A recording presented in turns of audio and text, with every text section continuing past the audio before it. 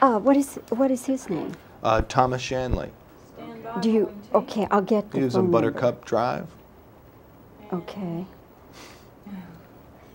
Godspeed, Bobbie, go ahead. Okay. Well, do I address you as John Patrick or John or Mr. Stanley or Uh, uh, Shanley? Excuse me. John is fine. John is fine. Okay. Well, it's nice to have this chance to talk with you, and particularly since I can honestly tell tell you I love the film. Oh, thank you. It's just delightful. I, I really enjoyed it a lot. It's such an unusual premise, even for a, a fantasy type thing. What was your inspiration? Um, I've had a lot of lousy jobs in my life, and uh, one of them, in fact, was as an advertising librarian for a medical supply company that made terrifying medical instruments that was located in the Bronx and since gone out of business.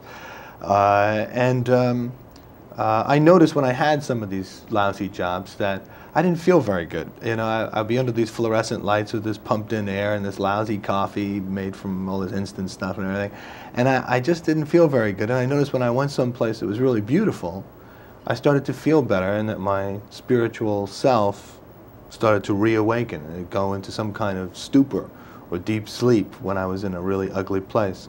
And so I wanted to write a movie about a guy who started in that terrible environment and gradually came back to life uh, through being forced by the hand of fate to take a journey halfway around the world to a very different kind of place. And that's, that's why I wrote the movie. When did the idea for the volcano hit you? Uh, I guess uh, I, somewhere inside I feel like every morning when I wake up, I face the volcano and I have to choose to jump in or not, which for me is like getting out of bed. I know it may sound a little strange, but uh, I think the choice to live is a daring one and has to be made on a daily basis. Did you have Tom in mind when you wrote it? No, I, I wrote the movie. I just wanted, wrote the story that I had to tell, and then when I was um, uh, contracted to direct it, and I thought about, I started, just started to think about casting. I got a call from Tom's agent and his lawyer on the same day saying that he was very interested in doing the part. And so we arranged to meet and we hit it off. And I explained to him how I wanted to do the film because I had an unusual treatment, uh, stylistic treatment that I wanted to do.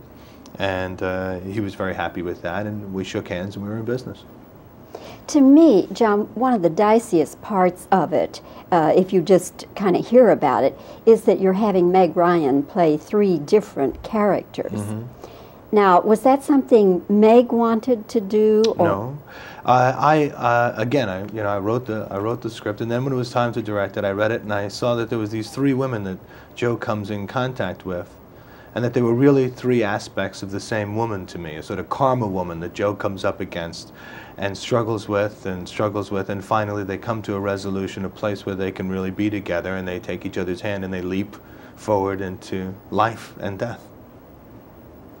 Was the fact that you had the three women, the three roles for one actress, was that what primarily appealed to Meg, do you think? Um, I don't know. I imagine so. It seems like a, you know, it's, it's a real chance for an actress to show what she can do. And I read a lot of wonderful people for the role, and when Meg came in and read, she was astonishingly good in all three roles, and it was really immediately clear that I had to cast her, you know. Some people may tend to see it as a gimmick. What would you say to them? Um, it's not. it's just what it is, you know. I mean, if it's, uh, uh, I don't even, no, I don't even know what that means. Well, as a device to just kind of add an extra dimension of Uh huh. interest or something. Well, I don't feel that way. I feel it's because, you know, he's coming up against this same problem over and over again and he's trying to solve it and he finally does. You yourself are an Oscar winner for Moonstruck, the screenplay for Moonstruck. How do you see the Oscar race this time? What do you think will be Best Picture? Uh, Born on the 4th of July. I think it's a terrific film. It's a big achievement, an extremely difficult film to do and to do well. And that Oliver Stone really did it. He really did it really well. So it would follow then that Oliver would win Best Director, you think? I think he deserves it. And I think he'll probably win it. But I don't know. You know, I never know. I mean, I don't know what's going to happen, but I know what I think should happen. What about Cruise, Tom Cruise? I think he should win for Best Actor, though that's a that's quite a race this year. There's very good people uh, up for that. There's very good people. Actually, this is a great year for the Oscars. There's a really a lot of Daniel Day Lewis is really incredible in My Left Foot, and that's a very very fine film. And I'd really be hard pressed to say, you know, is you know My Left Foot the best film or Born on the Fourth of July? I don't know. You know, uh, I just I know what it took to make Born on the Fourth of July, and that's one of the things that really moves me about it is that he was able to bring it off. Uh, and uh, My Left Foot is a tremendous achievement. Very moving to me. I really liked it a lot. Incredible performance. Yeah, really Yes. great performance. What do you think then about screenplay, original screenplay? Um, original screenplay. I don't know. I, I don't. I, I don't know. I don't even know everybody that's nominated in the category this year, uh, because uh, the the movies that have really sort of knocked me out this year, by and large, have been adaptations. Born on the Fourth of July is an adaptation, and My Left Foot is an adaptation. Drugstore Cowboy, which uh, I don't believe was nominated, is, is an adaptation, and I thought also thought that that was really a tremendous screenplay and I'm sure there's other ones that I'm forgetting. But they happen to be adaptations this year that you know particularly got to me. What about Driving Miss Daisy? Well, that's great, and it's an adaptation. it's a terrific film. You know, I mean, that's a sort of it's a nice year for films. When you won the Oscar, uh, obviously it was something you hoped for, but um, when it was a reality, what was your reaction? Well, I was very surprised uh, because I never really won a lot of stuff in my life, you know, and I and I've, I've uh, had a lot of adversity as a writer. You know, I worked in theater in New York for 12 years, and I got a lot of bad reviews. And I worked in very small houses, and I did very unusual plays, and it was always a, a big struggle. And I never had any money, and I couldn't pay my rent, and it was very hard.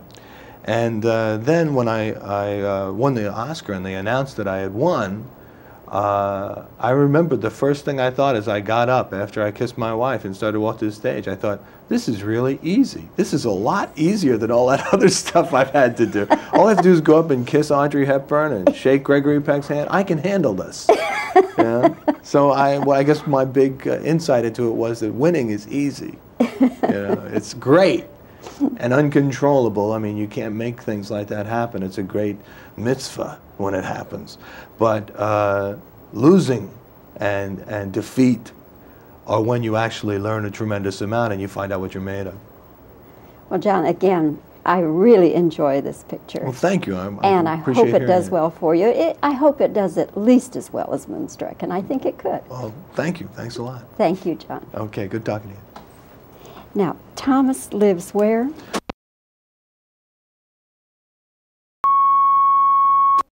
Uh, what is what is his name? Uh, Thomas Shanley. Do you? Okay, I'll get the He was on phone number. Buttercup Drive. Okay. Godspeed, Bobbie, go ahead. Okay. Well, do I address you as John Patrick or John or Mr. Stanley or Uh, uh, Shanley? Excuse me. John is fine. John is fine. Okay.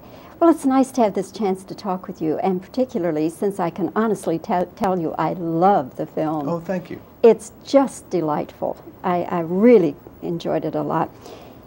It's such an unusual premise, even for a, a fantasy type thing. What was your inspiration? Um, I've had a lot of lousy jobs in my life, and uh, one of them, in fact, was as an advertising librarian for a medical supply company that made terrifying medical instruments that was located in the Bronx and since gone out of business. Uh, and um, uh, I noticed when I had some of these lousy jobs that I didn't feel very good. You know, I, I'd be under these fluorescent lights with this pumped in air and this lousy coffee made from all this instant stuff and everything. And I, I just didn't feel very good. And I noticed when I went someplace that was really beautiful, I started to feel better and that my spiritual self started to reawaken and go into some kind of stupor or deep sleep when I was in a really ugly place. And so I wanted to write a movie about a guy who started in that terrible environment and gradually came back to life uh, through being forced by the hand of fate to take a journey halfway around the world to a very different kind of place. And that's, that's why I wrote the movie. When did the idea for the volcano hit you? Uh, I guess uh, I, somewhere inside I feel like every morning when I wake up, I face the volcano and I have to choose to jump in or not, which for me is like getting out of bed. I know it may sound a little strange, but uh, I think the choice to live is a daring one and has to be made on a daily basis. Did you have Tom in mind when you wrote it? No, I, I wrote the movie. I just wrote the story that I had to tell. And then when I was um, uh, contracted to direct it, and I thought about, I started, just started to think about casting. I got a call from Tom's agent and his lawyer on the same day saying that he was very interested in doing the part. And so we arranged to meet and we hit it off. And I explained to him how I wanted to do the film because I had an unusual treatment, uh, stylistic treatment that I wanted to do. And uh, he was very happy with that. And we shook hands and we were in business. To me, John, one of the diciest parts of it, uh, if you just kind of hear about it, is that you're having Meg Ryan play three different characters. Mm-hmm. Now, was that something Meg wanted to do? no, uh, I uh, again, I you know, I wrote the I wrote the script, and then when it was time to direct it, I read it, and I saw that there was these three women that Joe comes in contact with, and that they were really three aspects of the same woman to me, a sort of karma woman that Joe comes up against, and struggles with and struggles with, and finally they come to a resolution, a place where they can really be together, and they take each other's hand and they leap forward into life and death. Was the fact that you had the three women, the three roles for one actress, was that what primarily appealed to Meg, do you think? Um, I don't know. I imagine so. It seems like a, you know, it's, it's a real chance for an actress to show what she can do. And I read a lot of wonderful people for the role, and when Meg came in and read, she was astonishingly good in all three roles, and it was really immediately clear that I had a cast her, you know. Some people may tend to see it as a gimmick. What would you say to them? Um, it's not. it's just what it is, you know. I mean, if it's, uh, uh, I don't even, no, I don't even know what that means. Well, as a device to just kind of add an extra dimension of uh-huh. interest or something. Well, I don't feel that way. I feel it's because, you know, he's coming up against this same problem over and over again and he's trying to solve it, and he finally does. You yourself are an Oscar winner for Moonstruck, the screenplay for Moonstruck. How do you see the Oscar race this time? What do you think will be Best Picture? Uh, Born on the Fourth of July. I think it's a terrific film. It's a big achievement, an extremely difficult film to do and to do well, and that Oliver Stone really did it. He really did it really well. So it would follow then that Oliver would win Best Director, you think? I think he deserves it, and I think he'll probably win it, but I don't know. You know, I never know. I mean, I don't know what's going to happen, but I know what I think should happen. What about Cruise, Tom Cruise? I think he should win for Best Actor, though that's, a, that's quite a race this year. It's very good people uh, up for that. It's very good people. Actually, this is a great year for the Oscars. There's a really a lot of.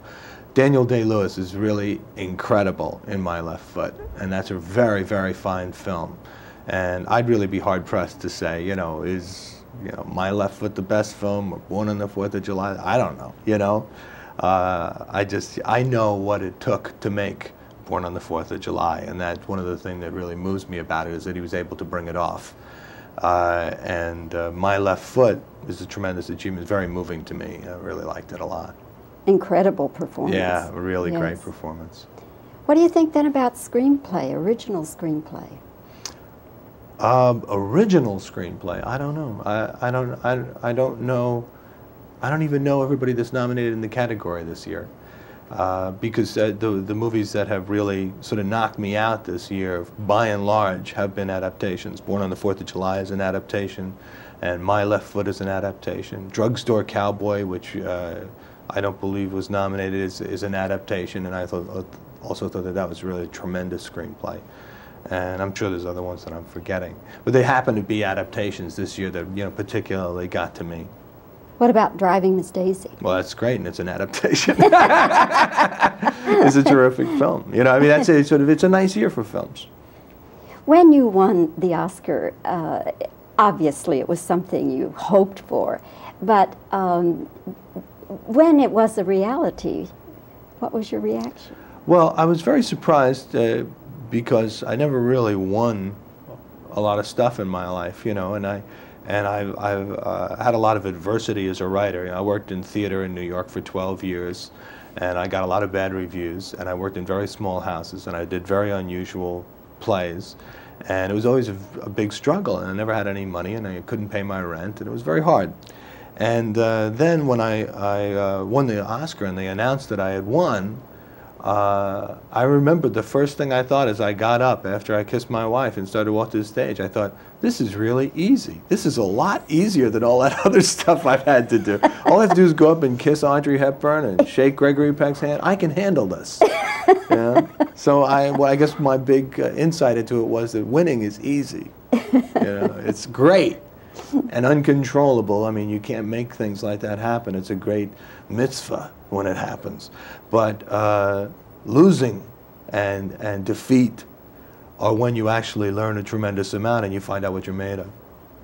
Well, John, again, I really enjoy this picture. Well, thank you. I, and I appreciate hope it does hearing well for you. It, I hope it does at least as well as Moonstruck, and I think it could. Well, thank you. Thanks a lot. Thank you, John. Okay, good talking to you. Now, Thomas lives where?